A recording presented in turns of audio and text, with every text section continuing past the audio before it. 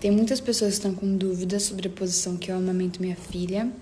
E eu queria falar o seguinte: eu tive muito problema para amamentar no começo, eu sentia muita dor, eu fiquei com muita fissura, e foi a posição chamada cavalinho que me ajudou a continuar amamentando.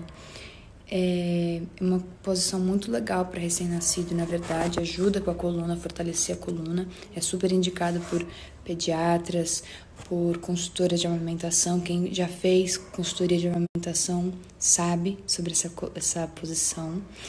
É, ajuda muito para bebê não ter refluxo, porque a digestão é mais rápida. É, fortalece a mandíbula, os músculos da mandíbula, do rosto. E também, bebê recém-nascido tem a sucção, é mais difícil para eles sugarem. E nessa posição eles conseguem sugar mais fácil. E é isso, tá bom? A coluna dela tá ótima, tá tudo bem. A pediatra tá autorizou.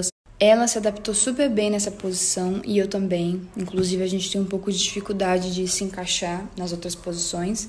Então, a gente tá feliz. Ela tá mamando.